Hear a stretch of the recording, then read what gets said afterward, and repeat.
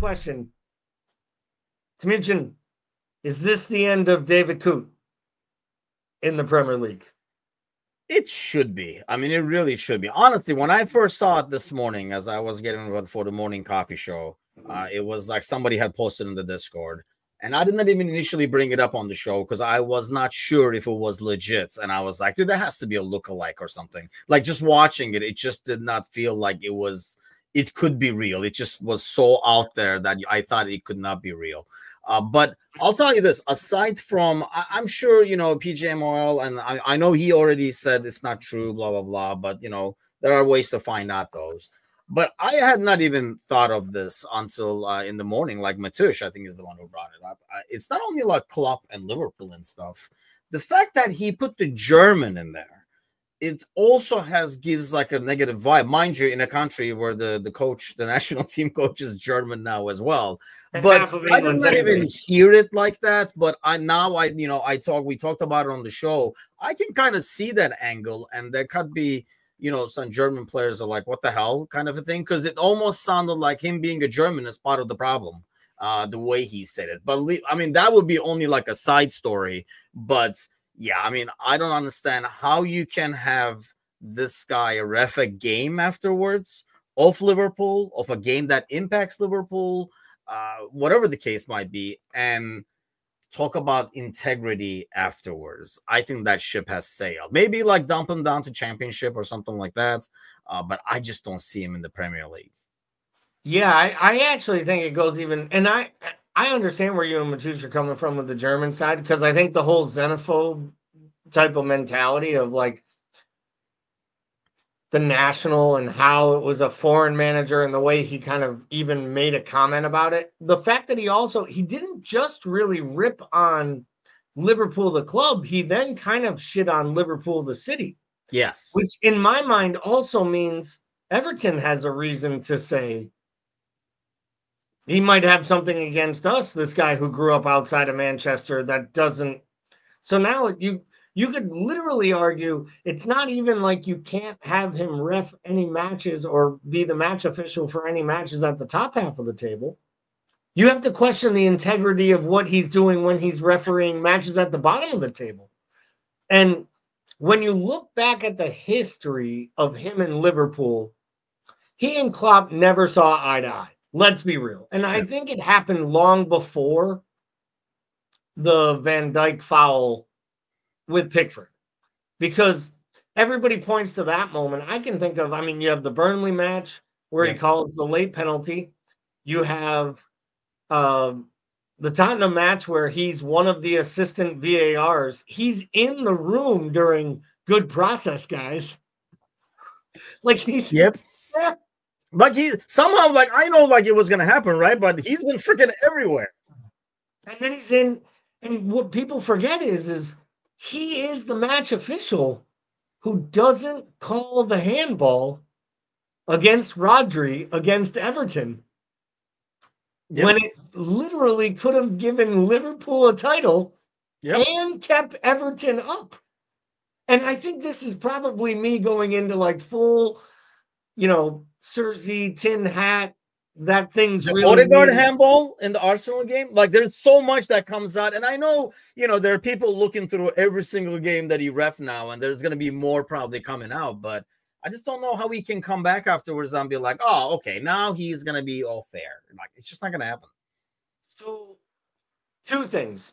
I got to ask you this because you're a father, and you're a father of, and we'll, you know, full disclosure, you've mentioned it before, and there's pictures behind your wall, uh, behind your head, so I can say it you're a father of two beautiful, smart young women, which I'm sure you have tried to protect every second of every moment and from bad decisions alike. Do you feel like in today's world with cell phones and videos and and and like does there almost need to be an additional layer of stupidity knowledge given on the youth of America nowadays to like remind people that nothing you say or do that could be recorded or documented is safe? Because to me, this feels like a guy who must have been sitting on a couch with someone he thought was his mate, his best friend, like I guess I don't understand how anyone who had as much to lose as David Coote would have would ever sit down as wasted as they are, as sober as they are, as frustrated as they are, and say those types of things. And the fact that there were two videos that were shared, and the second one is him going, you know, we got to record, we got to delete this video. And the only thing going through my mind is, is I would have had a whole nother attitude during the second video when my brain went off. I would have literally been going for the phone to try to like smash it, break things. Like it wouldn't have been me begging for that video to be deleted. It would have been me negotiating, like, what do I need to do to get that video taken down? Like, yep. I guess I bring it up as you, as the parent, because I know my friends say all the time, like, their biggest fear is that their kids won't be smart enough in their young teenage and like informative years not to send something stupid, say something stupid. I mean, how can someone at this level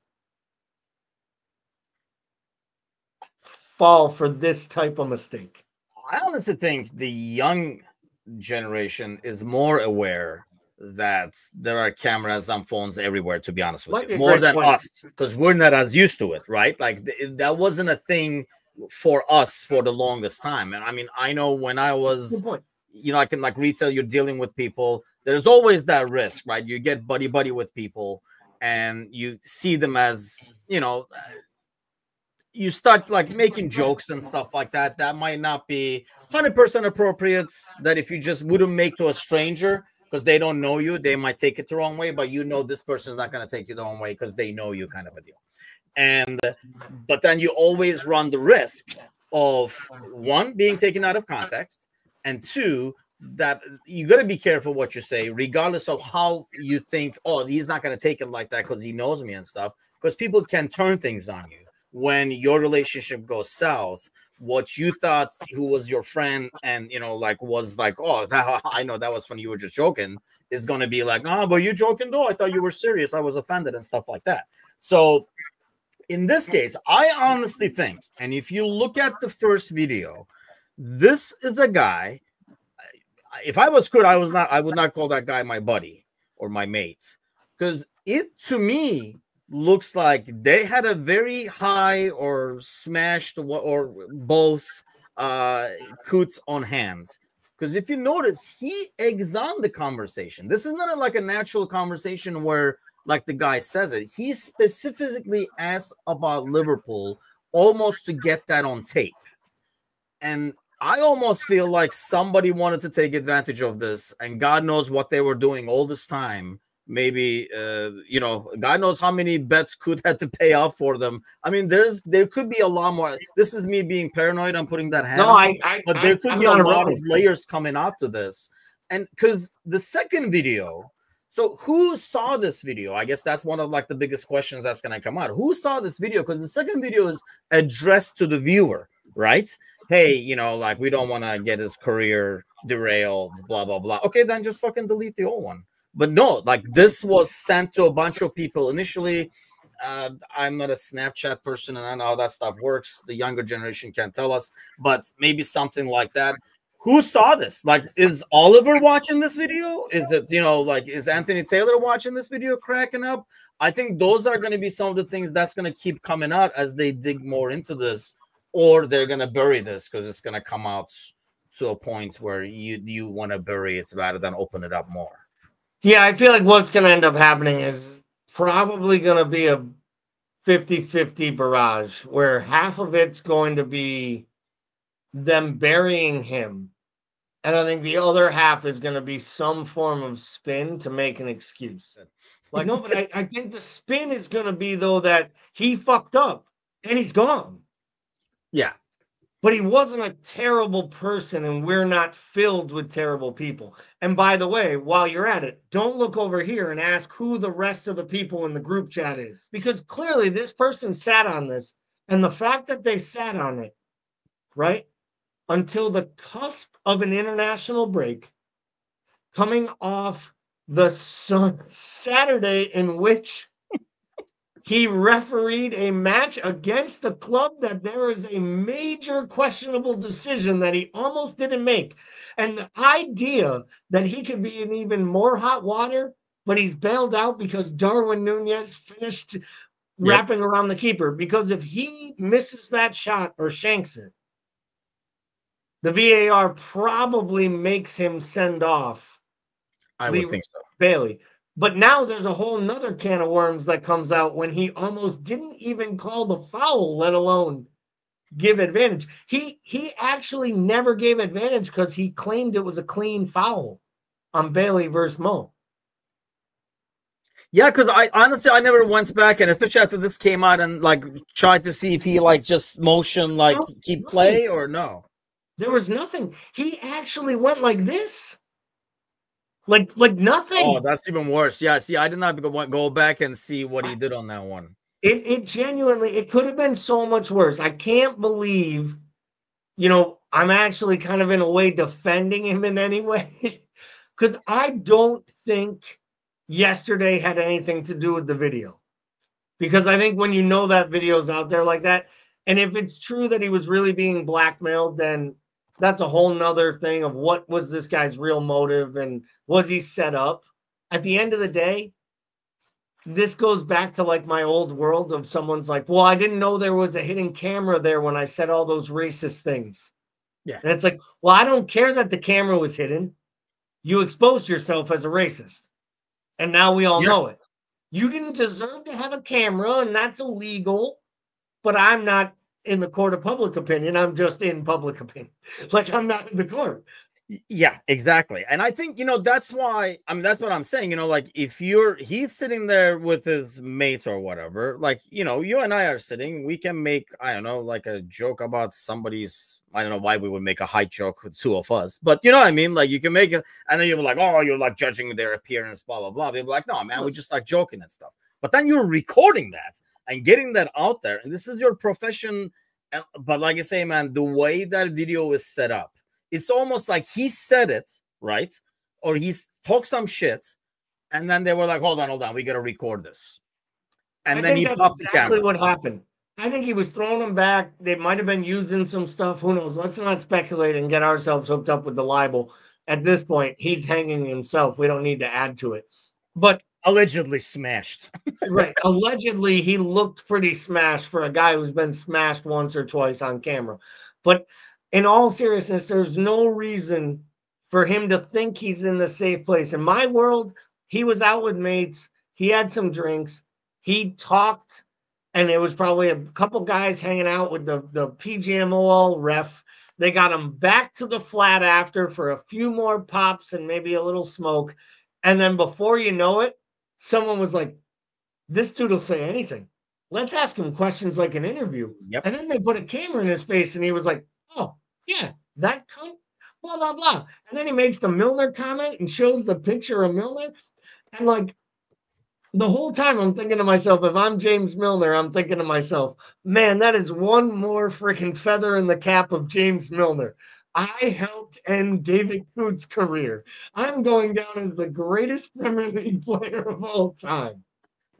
I that's the problem that like worries me. I mean, and I've seen like things like this in the past, and that's what I was referring to. Like I've had it where you know, like a guy is going around. Like I worked in retail, so a guy is going around, uh, introduce, you know, showing the new guy the store, and then they make an inside joke between with one of the guys as he's walking around, and you know, he, himself was Hispanic, the other guy is African American, and they kind of go back and forth at each other, like stereotype, uh, you know, like they're, they're they're taking it as banter and just a joke, but it can be taken out of context, and obviously 100%. the per- third person takes it out of context.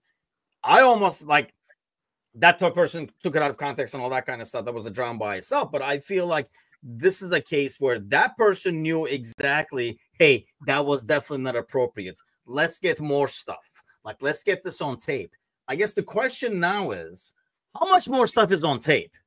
Because a guy doing that is not going to be satisfied with a 60 second clip while he's got Coote going off on everybody over there. So is there more on there? And two, like we said, hey, you know, whoever saw this video is not going to be seen. Well, that guy knows who saw this video as well. If he was blackmailing regarding releasing the video, what's him not releasing? Yeah, by the way, here's our Snapchat private group, and it's Taylor and Oliver and all those people laughing, putting laughing emojis on the video or something like that, and then you're another can of worms. So I feel like either they're gonna have to make this go away really fast and act fast and said he's gone. You know, there was no excuse and we got rid of him. Let's move on. Because I think the more it sticks around and people start peeling the levels, as Costanza says, it's like an onion. The more you let, the more it stinks is what's gonna happen. Every layer. Keep pulling yep. that layer back and your eyes water more and you keep doing it because you can't stop until you see the train wreck. And I think I think you're right. I think that's what is coming. I expect this, like I said, I expect there to be some excuse making. I expect there to be some spin. Then I expect there to be a guy that has to go away and never be seen for again. Kind of like Bobby Madley was years ago when he just kind of fell off and then he wasn't there anymore. And I think David Coote will kind of be the guy that goes away, probably so we don't point the fingers at all the other refs. I hope it isn't a group chat of all the referees because this league doesn't need any more excuse making. This league doesn't need any more, you know, plights on its referees. You know, I think it's one of the things Goldbridge actually gets right when he says it's the best league in the world with the worst officiating and the worst leaders running it, which is like shocking that you could get to the best by having all the worst around Despite, you. right? Yeah, exactly. Despite the worst around you. So